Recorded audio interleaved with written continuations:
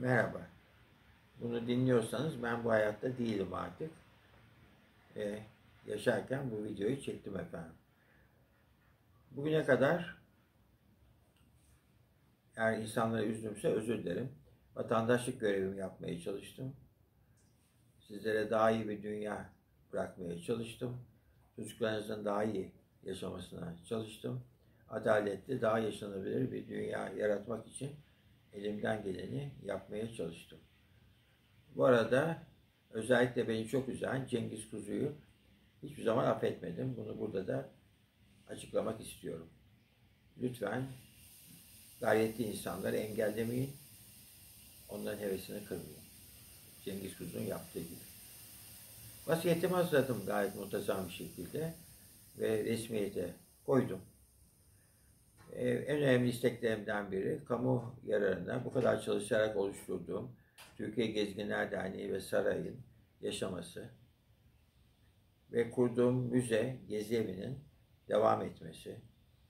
Sonra bir beton yığınıyken onu bir tarihi ev haline getirdiğim Ağırkapı'daki binamızın fonksiyonunu devam etmesi, konsolosluk olarak ve hizmet vermesi bakımından. Aynı zamanda tek ağaçla alıp 800 ağaçlı bir koru haline getirdiğim Fener Köyü'ndeki çiftliğinde devam etmesi yönünde kızımdan istekte bulundum. Ayrıca yazılı olarak bildirdim efendim. Bu arada vasiyetimde yazdım. 9 yılda bölüm başkanı olarak 44 yıl İTÜ Maden Mühendisliği bölümünde hizmet verdim. Ve bu öğrencilerimi çok sevdim. Onlarla ortak çalıştım ve onlara bir burs imkanı sağlıyorum. Ve bir Orhan Kural bursu yapılacaktır. Bu konuda Yurt Madeni Geliştirme Vakfı'na belli bir para bıraktım efendim.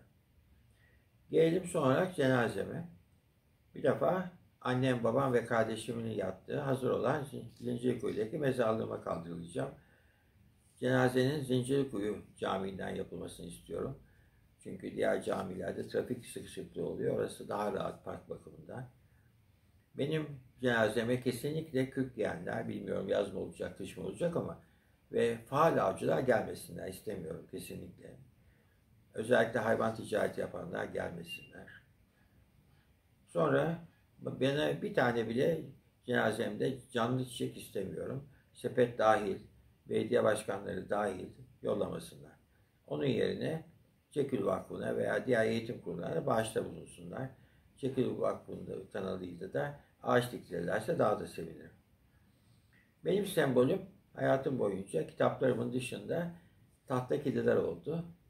Onları da beraberinizde getirirseniz bir renkli katarsınız cenazeme. Eğer size hediye ettimse lütfen beraberinizde getirin. Mümkün olacak mı bilmiyorum. Vasiyetimde de yazdım.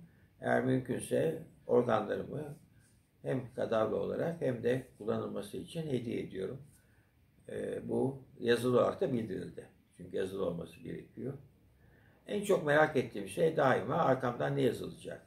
Basın ne yazacak? İnsanlar ne konuşacaklar diye hep merak ettim. Herhalde şu anda o yapılıyordur diye düşünüyorum. Ve sizlere sağlıklı, nice mutlu coğrafyalarda uyanabileceğiniz başarı dolu bir dünya diliyorum efendim. Sevgiyle kalın.